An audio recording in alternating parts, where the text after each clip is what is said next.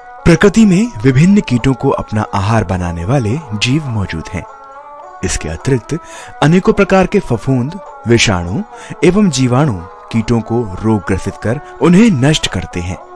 इनमें से कुछ जीवों को जैविक कीटशालाओं में बहुगुणित कर फ़सलों पर छोड़ा जा सकता है। इस क्रिया को जैविक प्रक्रिया द्वारा रोग नियंत्रण किया जाना कहा जाता है।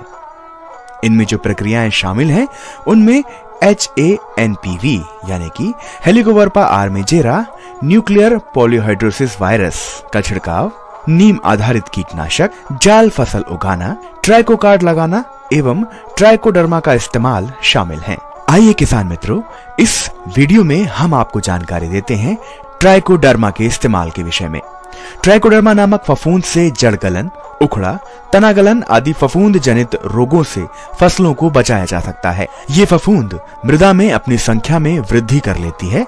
वह रोग पैदा करने वाले हानिकारक फफूंद को नष्ट कर देती है। भूमि उपचार हेतु 10 किलो सड़ी हुई गोबर की खाद या वर्मी कंपोस्ट में 250 ग्राम ट्राइकोडर्मा मिलाकर बोरी से ढक दें एवं नमी बनाए रखें। आठ से दस दिन के बाद इस गोबर को खेत में छिड़क दें ध्यान रखें कि खेत में नमी बनी रहनी चाहिए। राज्य के विभिन्न जिलों जैसे कि जयपुर, भरतपुर, अजमेर, बूंदी, चित्तौड़गढ़, जोधपुर, बांसवाड़ा व हनुमानगढ़ में स्थित आईपीएम प्रयोगशालाओं में ट्रैकोडर्मा का उत्पादन किया जा रहा है। इस तरह हम जैविक उपाय अपनाकर कम लागत में अपनी फ़सलों को कीटों एवं बीमारियों से बचा सकते हैं।